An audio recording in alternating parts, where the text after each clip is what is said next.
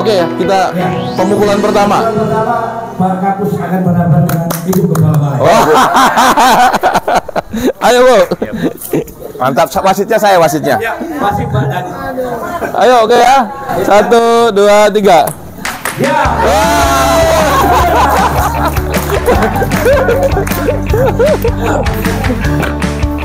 Jadi saya harap, saya harap ibu yang namanya yang namanya olahraga, yang namanya kebersamaan itu penting ya.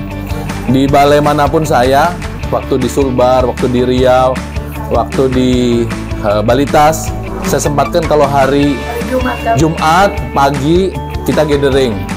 Ya satu dua jam, kemudian rapat koordinasi, kemudian lanjut bekerja lagi. Karena kebersamaan itu penting. Itu ya Bapak dan Ibu.